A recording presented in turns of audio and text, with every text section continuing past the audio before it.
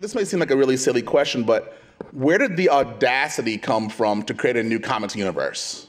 Um, so I work for Lion Forge Comics, and the owner of the company, David Stewart II, and the chief creative officer, um, Carl Reed, came up with the notion of doing another superhero universe. They were um, quite inspired by Milestone, and in particular, Static Shock.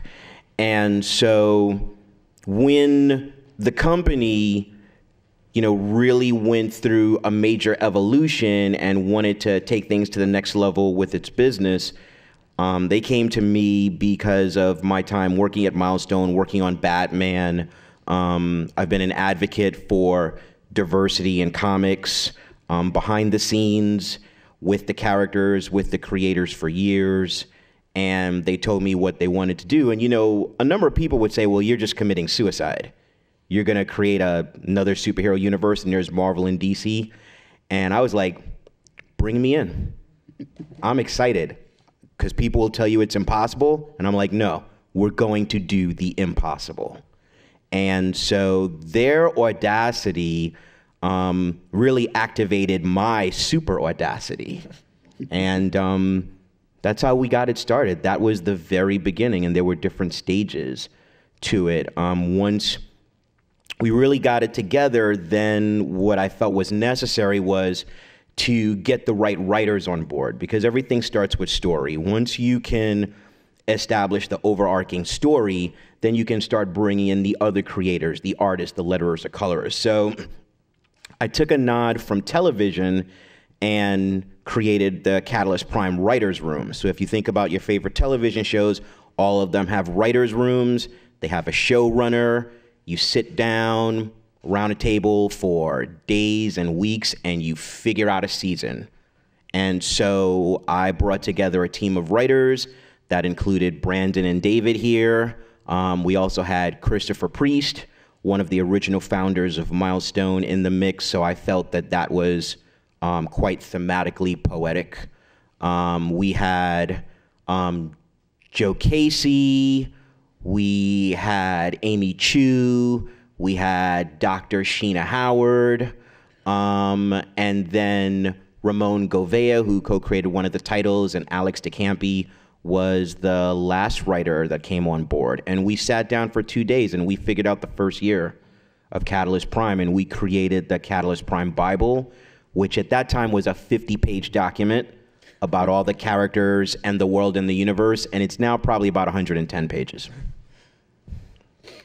Yeah. So, um, how did you latch on this vision and wanted to be a part of it? Because I can think a new venture can be really super scary, right? You're like, you know, there's a lot of media. Um, there's a lot of stuff out there, right? Yeah. So, I mean, what, what brought well, you on board? It was, it, it was crazy for me because um, he he came to me and he asked me if I wanted to write the first book out the book that comes out on because uh, uh, the universe kind of launched on Free Comic Book Day, so it was um, this one shot that uh, I think Joe's going to give away at the end, and uh, the first issue of the title I write, uh, Noble. So it was a little, uh, it was very exciting. It was pretty easy to say yes to, and then after that, it was like.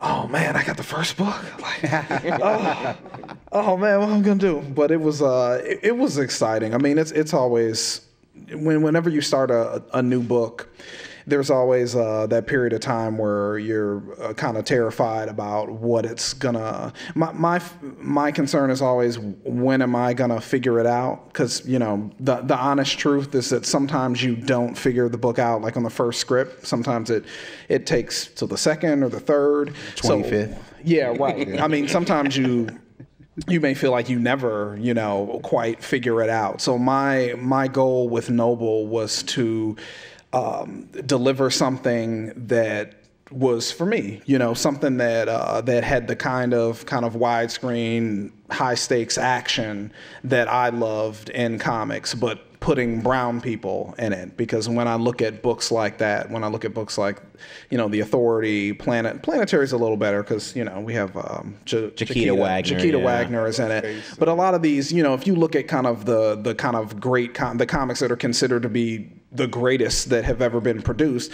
there's not a lot of brown people in them. So my goal was to uh, produce a comic like that that operated on that kind of epic level, but it had people of color, you know, featured prominently. So it was, uh, you know, I think we did a pretty, I think we did a pretty good job. I'm proud of the the work that we've done with Noble, but it was a little uh, terrifying to go out first. yeah, I kind of gave you some rough marching orders. I was like bitch slap Superman and use Mark Millar and Bryan Hitch's The Ultimates as your starting point. Yeah. And then go further than that. Yes. Yep. No, that's not like that tall of an order. Yeah, I know. I'm right. No. Right. Uh, you know, for me, it was Joe. Joe reached out to me, and you know, there was part of me was like, uh, you know, another superhero line. Uh, like, is, is, not only does the world need this, does the um, is the market going to embrace this? So I, I was a little, you know, I was I wasn't like I was like, okay, this will be cool, maybe. Um, then Joe said, well, you know, I, I, if you're interested, we I'd like you to co-write it. We've got Sheena Howard on board, and I was like, oh, okay, well, That was superb, right? yeah, that was on Superb.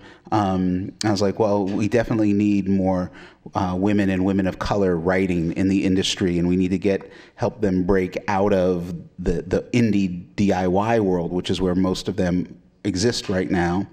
And so I was like, okay, well, that's you're scoring points there. And then he said the the team is about two superheroes, and one of them has Down syndrome. And I said, okay, I'm on board.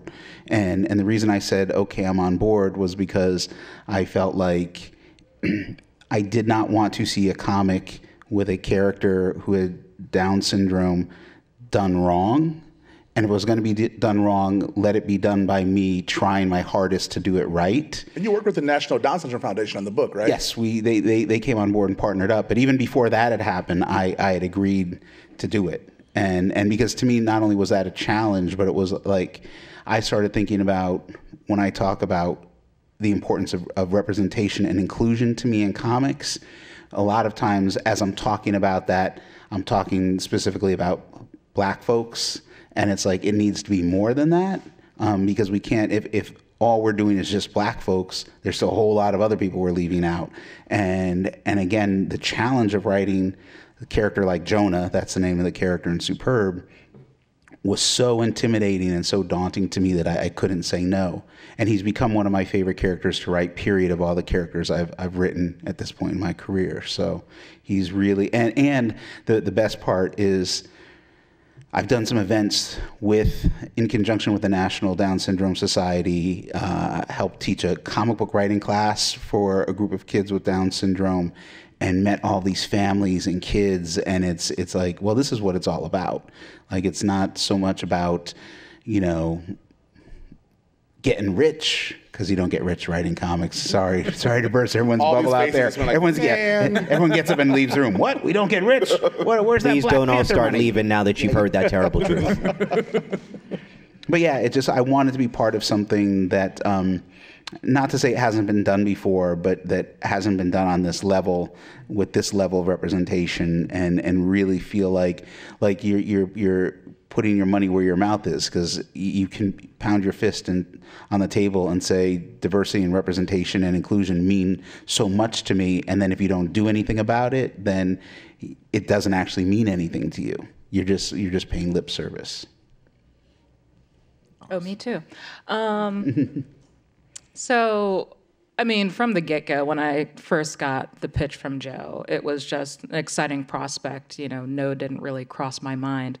Um, I don't really operate in the superhero comics world too much. Uh, it's so, you know, like superhero comics, as we covered, they're not very diverse. You know, there's really not a space there for black women um, or black girls. And there's not a very huge space for kids and teens, which is kind of where I operate. You know, I'm a children's book author and illustrator. And back in the day, most comics were all ages, you know, they were geared toward kids, but that's not so much the case anymore. So, you know, while I grew up on titles like X Men and Batman, and I still have a lot of love for them, that's not really what informs my work now. But when Joe reached out to me, told me about Superb, which you know I did a few covers for.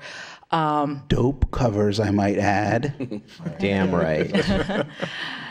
you know, it was it was something new. It was a story focused on diversity from the ground up. These were characters that the world has not seen before, and they were teens, and you know, all of that is just totally within my wheelhouse. It was intimidating because I really haven't done comic covers, and especially not superhero comic covers before, but it was an exciting opportunity to do something new. So, yeah. Yeah. And for me, it was important to, um, as David said, bring more black women into the mainstream um, North American comic book space with this line. And like Nilah and I have a secret origin that goes back to a few years when she was the first um, award winner of the Dwayne McDuffie Award. Um, Dwayne McDuffie um, was one of the founders of Milestone, um, a friend and a mentor to me. So um, I really felt like her work with MFK um, spoke to where he wanted comics to go. And um, her artwork is really exquisite. And with the second season of the Catalyst Prime titles, we decided to bring on guest cover artist. So when we were thinking about people, I was like, okay, this is a perfect sync up. And I asked her, and she said yes, and we were off to the races. And the thing about, especially the next cover, like Superb Number Seven, when you see this cover, um, I'll kind of describe it to you because it won't, still won't be as cool as when you see it.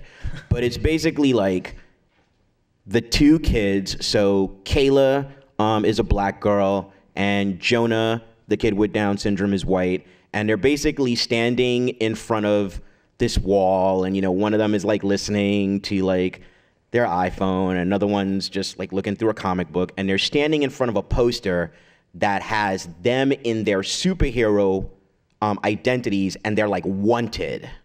I So it's kind of like this this double layer concept, right? And so you actually get the superhero um, vision and you get the vision of real teenagers at the same time. And I think there's a dichotomy of how teenagers feel in real life, right? Where there's the part of you that you show the world, and then there's a part of you that is your secret identity, which is kind of like where your pain and your fears lie, right? And just the multiple contexts of those things Exactly. So, like, when you see this cover, it's hot. And it's thematic. And it's the kind of cover you're not going to see from these other companies because they're not dealing with these social issues and dichotomies that we as people of color have to deal with every waking minute of our lives. And there's one thing about the idea of diversity and um, Catalyst Prime Lion Forge. It's that it was never the Negro woman queer of the week like Marvel and DC was doing, right? It was always just like, look, we are being diverse right now. Can't you tell? And yours is. I don't know what you're talking about. and I resemble you, that remark. that's, I mean, because it's for you. It seems like in, in what you, the work that you're doing, that diversity is an is. Yeah. It's not an event. It's not a, a somersault through flames. It's an is. This is how the world actually looks. We're going to actually make this world the world that we we live in. And so, but with all of the um, trolley pushback of of called diverse. I mean, even I even hate the word diverse. It's like the real world. Um, how do you negotiate and navigate some of the um, our uh, baser comic friends who may be out there on Twitter and Facebook and the rest railing against you damn social justice warriors. You know, what's the opposite of a social justice warrior? Uh, uh, Someone Social who doesn't give a injustice damn. warrior. Social That is- Yeah, but I mean, literally because, what I it mean, is. Think about it. We live in a world where Friends and Seinfeld is the default, but Living Single is a black show. Right, Right. right, right? And so how do you? I mean, so but you are creating a new default, and how do you do it so a you're not pandering, Right. And then also still having to you know uh, bob and weave and defend yourself against the um, tiki torch khaki brigade. Yeah, you know. it- wow, wow. Oh, David has some personal experience. with. Uh, just wondered. If you ever, if you ever want to see misery in action, look at the people who comment on David Walker's Twitter feed. Wow. I mean, yeah, with Catalyst Prime, you know, I did this interview in which I basically said diversity is easy, racism is hard, right? Because it takes effort to leave out all of the creators who are not white, heterosexual males with all working limbs. That takes work. It doesn't take work to say, I want to get together a group of creators and then just look at the best creators in comics. Because a number of them are women, a number of them are people of color, a number of them are not cisgender or heterosexual. And not American. Exactly. So, you know, it was like putting together the team was actually easy. And in terms of dealing with the trolls, like there's this amazing thing. It's called a block option. Actually, mute is better. mute, mute. Because they don't know They don't Right, know you that- muted that's them, true, that's and then true. they're just screaming into, Into the. nothingness. I don't. I don't mind them knowing that I'm blocking them. It's kind of like that episode of Black Mirror, where like you know I can no longer see your features anymore. You're now just a silhouette in Archangel. society. Yeah, it's like it's like Archangel. So I don't mind them knowing because honestly, like we're not gonna move this world forward engaging in meaningless conversations full of bile. Yeah. I don't have the time for it. We do not have the time for it. For one of the things for me, and I, I've said this multiple times over the years, there's there's diversity with a lowercase d, and that is the catchphrase that has been used a lot, and it's really just it's it's um it's another word for marketing, right? It's a it's another word for how do we sell this, how do we how do we sell something other than the the white heteronormative male concept in pop culture, right? But then there's diversity with a capital D. Diversity with a capital D is this room right now. Diversity with a capital D is this city that we're in. It's the it's it's lots of parts of this country, not all parts of this country, mm-hmm. but it's also the ideology by which some of us choose to live, and it's which it's that ideology that says, you know, my friends are my friends, and I'm not going to go out of my way, like you were talking about, like to just only surround myself with one type of person who thinks one sort of way, and and that's what I've tried to commit myself to the work that I do. And and it's not easy. We were having this conversation last night just about, you know, I'm old, right? you know, so I, I grew up in an era where, you know, you would I would watch movies as a kid that when I go back and watch them now, I'm like, yo, there's there's no women in the, this movie. Like or there is but she gets killed and she's the whole reason charles bronson goes on the killing rampage you know what i'm saying? They're, they they they have no agency and no humanity about them. And and sometimes i'll be working on a script and i'll catch myself and i'll see oh you've done this and the reason you've done this is because this is what you were weaned on. This is how you. This is what you know. You have to turn it around, and I've gotten much better at it. But I'm still. We're all still guilty of these of these isms that get ingrained in us subconsciously through our through society, through the world that we live in. Yeah, and reinforced. So what are you going to do about it? And and if somebody calls you on it, and, and it all and I, I tell people all the time, you feel free to call me on it. Just try to be as polite as humanly possible because I'm not nice and I will I'm bitter and I'll start yelling and then I'll usually go home and mope and be like. They were right. They, damn it, I am uh, not a very good writer, and blah, blah, blah. so. But yeah, but it's just it's it, you can engage like a rational human being, and that's a then that's a beautiful thing. I mean, like you're talking about diversity, and like prison yards are diverse. They just don't connect and talk. Yeah, yeah. I mean, prison yards are mighty with these little islands Yes. here. And so when you're, I mean, you know, I mean, over this past week, I've been going to all, most comic shops in the Bay, talking about BCAF, talking to people in, the, in, in shops, telling me about this, and the look on their faces Black Comix Arts Festival. Yeah.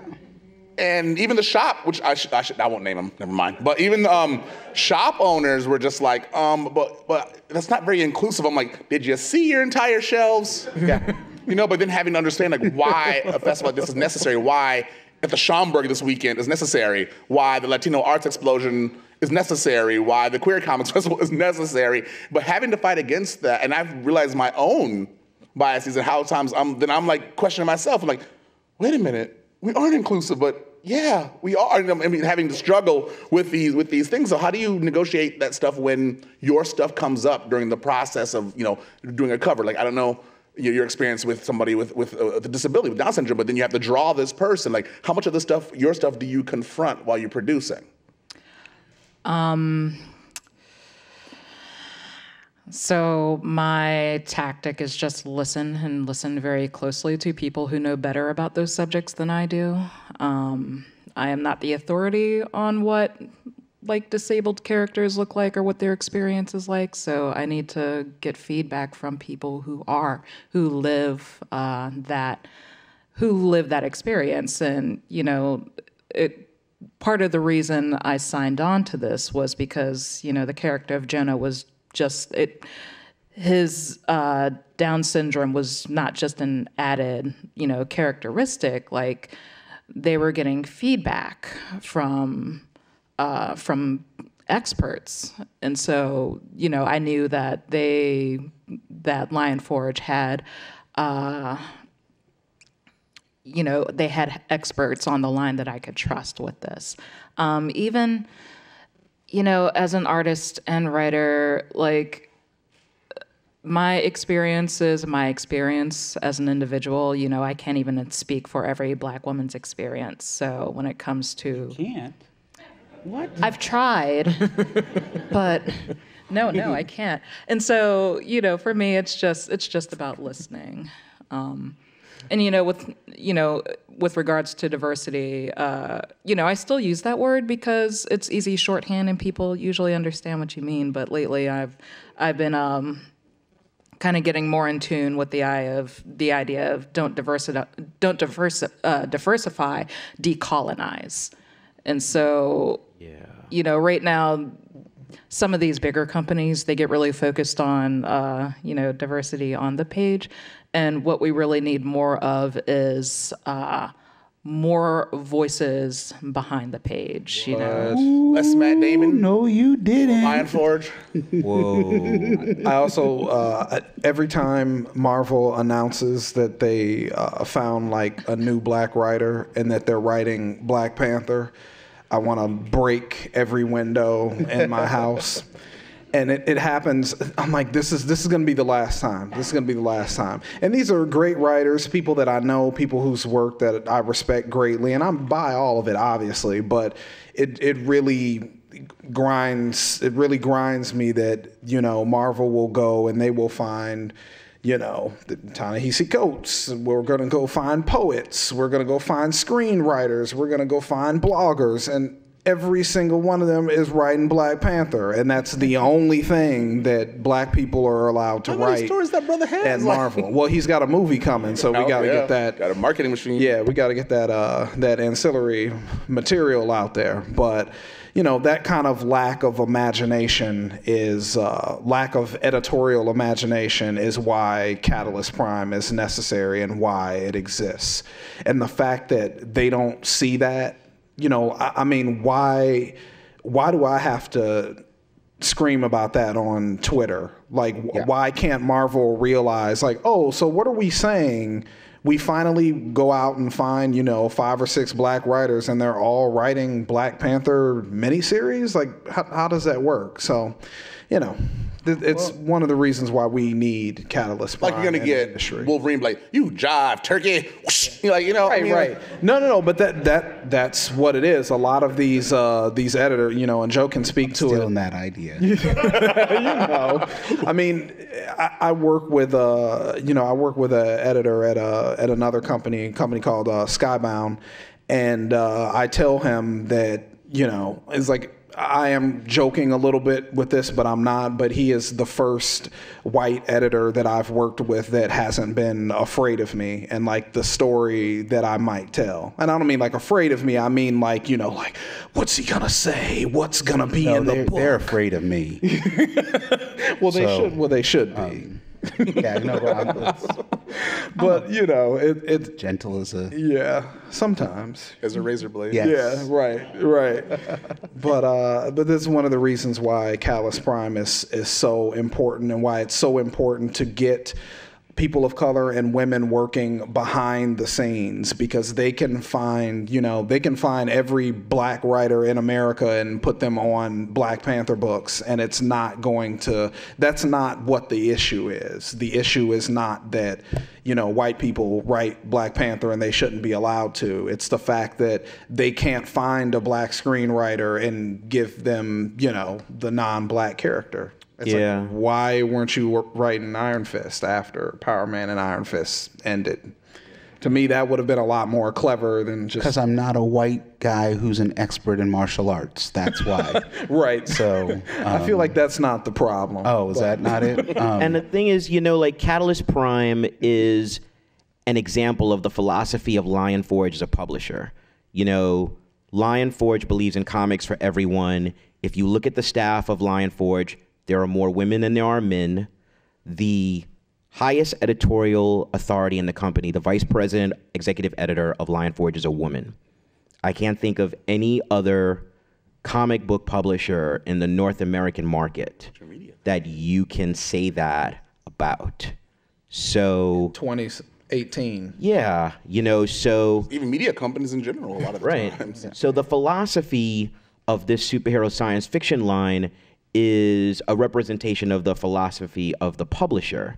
And you know, with diversity, there's this crazy misnomer, there's this misconception that diversity means anti-white. Diversity is everybody. We have white creators at Catalyst Prime. you know, artists, writers, letterers, colors. Yes, of course.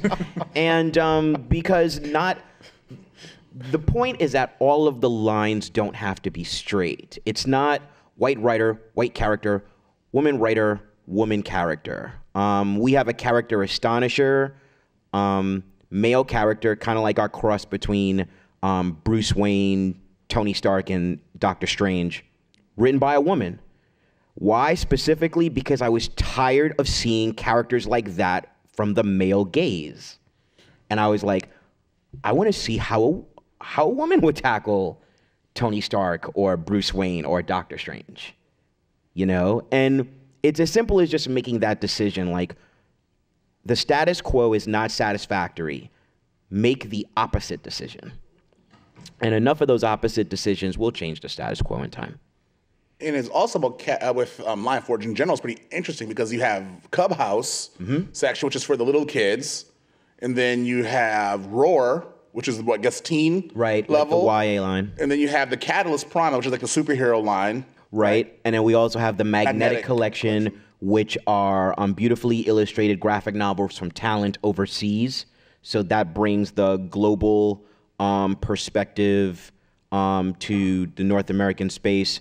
And, you know, another reason Nilah and I connected was because of the MFK webcomic that you did, which just got put into a beautiful hardcover volume, which you can find at Barnes and Noble right?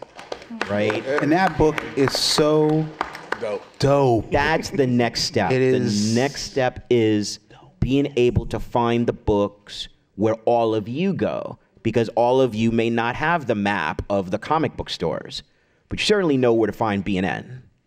You certainly know where to find BNN.com. And so that greater expansion and the opportunity to get our stories to the larger audience is important. So being able to take like the comic books and have them is great, and then collect the comic books in volumes and have them in the bookstores is even better. And so Catalyst Prime isn't just an imprint; it's actually a universe, right? It is. It is. It's a universe. There are seven monthly titles. Um, we launched last year. We started with um, a free comic book Um, the first Saturday of every May in the comic book um, industry, there's something called Free Comic Book Day. And what Lion Forge wanted to do as a publisher is to say, okay, why don't we allow people to enter this world for free? No strings attached. And if you like it, come back and then pay for it. And if you pay for it, you'll get your money's worth. So um, So Christopher you used the, Priest. used the dope dealer uh, thing, didn't you? That's that's That- that- okay. Just checking. that is one potential analogy. Yeah. Never even thought about it till just now. Very good. Very Ex- good. except, except this is the drug that actually is nourishing. Yes. The smart drug. yes, yes. And so um, we worked together with um, two artists, one who lives in Brooklyn, one who lives in Italy. Um, Jessica Kholinne, an amazing colorist. She's in Indonesia. Um, the main character of the story is a Mexican female billionaire named Lorena Payan. And so, just by the first book, you read this and you're like, oh, this is not what I've seen before. It's like a billionaire scientist in Chiapas, I'm down right? for this. Yeah, yeah. like we this the story started in Chiapas, Mexico, right? Because you know, think global, produce global, right? And a lot of the comic books in the North American space only take place within our shores. And it's like the world is huge. and, you know, I came in on a plane this morning and I was watching a few episodes of Queen of the South. And first of all, I, I love Alice Braga. And secondly, Queen of the South was actually a little bit of the origin for Lorena Payan because um, David Steward II, the CEO and owner of the company, and I were talking, and we were talking about, okay, who's the going to be the wealthy influencer of this world? And we were like, not a white man. Not gonna do that. Got enough of that. and we were like, okay, let's figure it out. And he was like, Mexican? I was like, woman? He was like, go. I was like, okay. and we'll be giving out copies of that for everyone afterwards, and you can read it and you can let us know what you think. And it seems like it's not that hard. Like you were saying earlier, just if you just get the people who are doing the hottest work together in the room, that you can create. you can, Brandon, just, Brandon's just like, I've been here how long? It's finally happening. So I mean, so for any creators, are, are there any creators in the room? So for creators in the room, what would you give them uh, advice? What would you? What would you? What's up, Stacey? What would you do um, to tell them, like, to, if they wanted to go from the ground up to start their own vision, to actually put their vision, their story in the world? Because we are story people, and story is necessary. Ooh, But most of us are, huh? I'll tackle that All one. right, go You're, ahead. you're a professor now, right? You can Yes. get this. Um, well, first, the first and foremost is, is I would say is, you know, try to find find that story that you want, but you're not finding.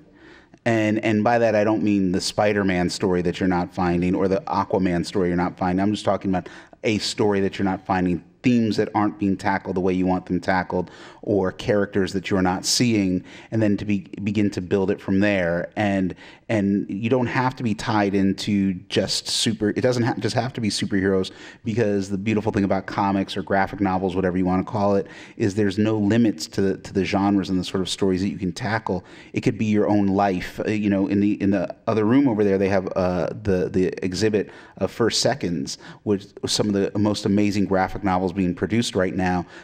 In most of it, I don't think any of it's actual traditional superhero stuff, but it's a, it's it's all amazing. Um, and and the thing is, is the the threshold, the entry level threshold for comics is actually really really low. All you need is a piece of paper and some sort of writing implement. And it can be a pencil or a pen or a marker or like a piece of charcoal or chalk. And you draw on the paper uh, some sort of stick figure with some words saying hello, and boom, you have just created your first comic. It's really that simple. And you, you don't need permission from anybody. You don't need, um, there, there's no secret tool. That's one of the things my students are always like, well, well, what sort of software do you use to write? And I tell them, well, I use my brain and my fingers. And then whatever tool I can get my hands on, whether it's the computer or a pad of paper, that's what I write on. But I, I don't need Final Draft or Word or any of that sort of stuff. Um, you know, and people say, well, I, I can't draw. And I'm like, yeah, neither can I, but I can draw stick figures and that's all you need to know how to do. But the thing is, is, is you, you have to have a story to tell and there has to be something inside of you that you want to get out. And, and it really does need to be more than a recycling of, well, I can do Harry Potter better than Harry Potter, so I'm going to write my own Harry Potter book. A Harry Potter book's already been written. You don't do that. Give us what you think is is something that you would absolutely want to read. And if all you want to read is this particular flash story, then I would say that you probably, and this is harsh, this is going to be a harsh thing, then what you have to say is not that important. If, if the only way you can tell your story is through Aquaman, are there kids in the audience? Okay, one. Okay, if the only I'm way, almost if- like right if- here, if- son. If, the only way you can tell your story is through Aquaman, you are a shitty writer. Boom! I said it. That's it. You can leave the room right now. But if you can find a way to tell your story through, you know, Aquafina, the underwater lady, you know what I'm saying? There, you find a way to make it work. So, oh, Aquafina is a company, isn't it? Yeah. Damn, I thought that was And a- such a, That's- I thought that's that- water. Asian, and an Asian woman rapper. And so I thought that David was- I has thought- just led you to a lawsuit. Right. I Right. I thought that was Not such to a dope use name. And then, Aquafina. all the lawyers and all the lawyers in the audience are like we about to get paid Or you- right now. Ah, to use Aquafina. Or you contact the company and get sponsorship. Ah, ah. There you go. So we're about to um, wrap up and have audience questions, but one I would do want to, I mean, because like I work with a lot of young people, and I've I did 20 years of adolescent mental health and juvenile justice work, and I always use speculative fiction and comic books in my work with students because um, young black and brown queer Asian people are always vilified in ways, and so there's a lot of imposter syndrome when it comes to come out of their of their negative deficit-based context, right? So how do you as creators who've been, you know, marginalized every possible, whether it's gender, color, the intersection of gender and color, sexuality, whatever it is, how do you defeat your imposter syndrome and then also invite people who may look like you and have a certain ethnic or cultural affinity with you? How do you bring them in to let them know that what everybody else said about you doesn't matter? What matters is you belong here right now. Wow. Wow. Yeah, I'm I'm not smart enough to answer that one. Come on, come on, Nilah, kick it off.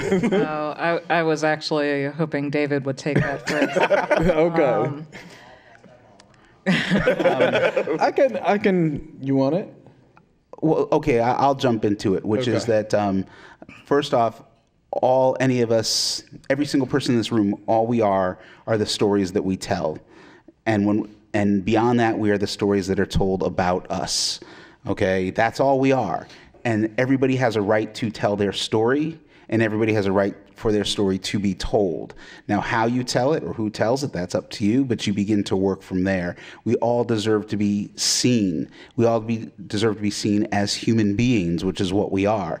And there's nothing, I always go back to this, there's nothing worse than the feeling that I had when I was 10 years old and I went and saw Superman the movie with Christopher Reeve, and I was like totally into the movie, and I was feeling it. And then the only black character in the entire movie showed up, and he was a pimp. And it was in all of Metropolis, there was only one black person, and he was a pimp. And I'm 10 years old, and I remember thinking, well, shit, I would rather have an all white Metropolis than have this. and and and so one of my goals one day is to convince DC to let me write the story of that pimp from Superman the movie and be like, yeah, this is what it's really about, right? But but really I, Black Panther. No, yeah, yeah. Um, but it's it, but but the thing is is um, I believe that you know day after day, week after week, century after century, many of us, our, our humanity has been um, has been taken away. Uh, they attempt to take away our humanity. They attempt to dehumanize us. It's not up to them to give us back our humanity. The people who, who try to take it from us. It's up to us to assert it and to claim it. And that's what we're doing. And that's what I encourage young people to do. I'm like, stand up for yourself and show that you're a human being. What does that mean? Tell us who you are. Find a way to, because all comic books are, they're myth. Mm. And myth is, is humanity's way of expressing our place within existence. And we all have a right to have our own myth. We all have the right to have our own story and that thing that speaks for us.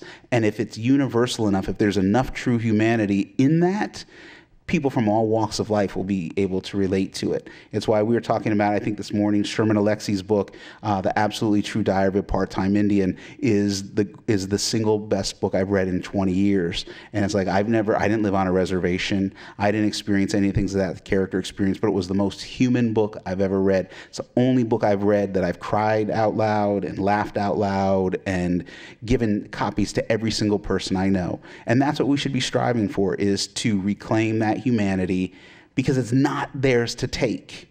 It's ours to give up. And they will they will fight you and try to kill you to take it from you, but that's it. If you want my humanity, you are going to physically have to kill me because you can't emotionally or spiritually kill me. I won't let you do it. So I'll say that and walk out, and someone's going to shoot me out there in the street. But yo, what's up? I don't, care. Put that out there. Tweet, tweet. I, I'm here right now. The last David Walker panel. Nilah will protect me. So, um, I think all of that was excellent and hard to follow up. So I'm I'm going to follow up with a story.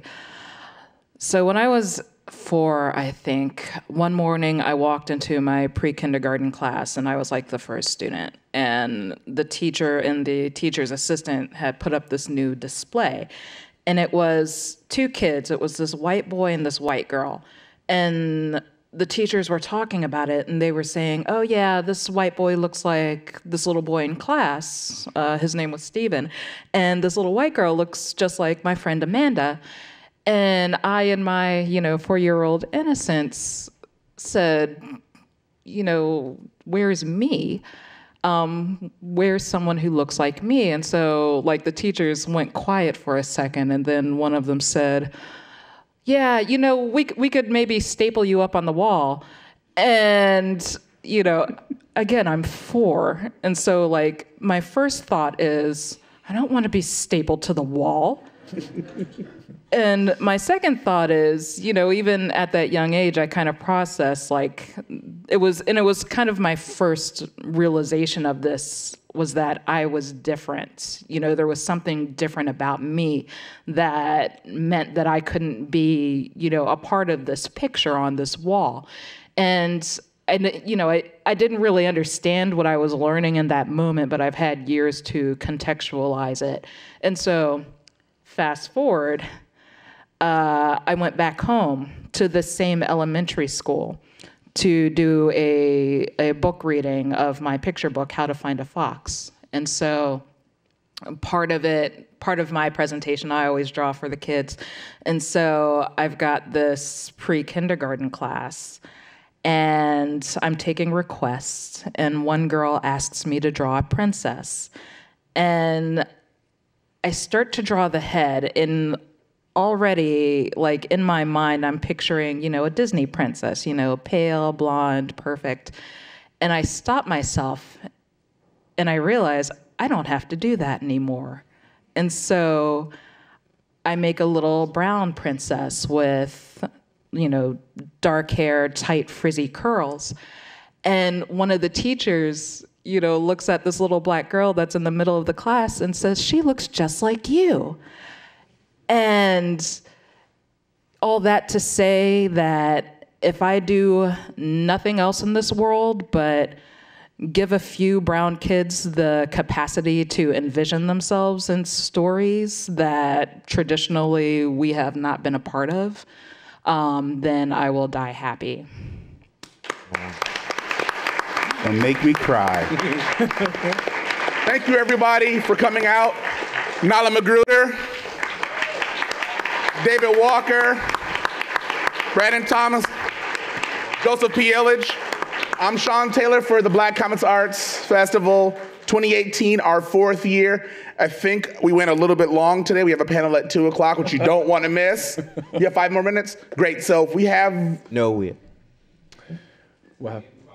In five minutes, we have a panel. So I guess um, we're a little bit over. There are some free Catalyst Prime books to give out. And please stick around for the next panel. We have Matt Huff, Nnedi Okorafor, Victor LaValle, will be on that panel, and then the panel at three o'clock this afternoon will be uh, for I am Alfonso Jones. Please stick around for that, and thank you for our second day of BCAF. Thank you very much for coming And out. and tomorrow. Tomorrow is the Expo. expo at the I have City View. Cityville Metreon. Metreon. Hope to see some of you there. We'll have books for sale. We will. and I'll spout wisdom and bitter cynicism for free. How unlike you. and in the room, um, Latin American Book Room, which out there on the corner, we have a showcase. We have some artists. We have Borderland Books, the only San Francisco speculative bookstore that's in there. They have some of their books up there. We have free books. Thank you very much. Thank you for coming.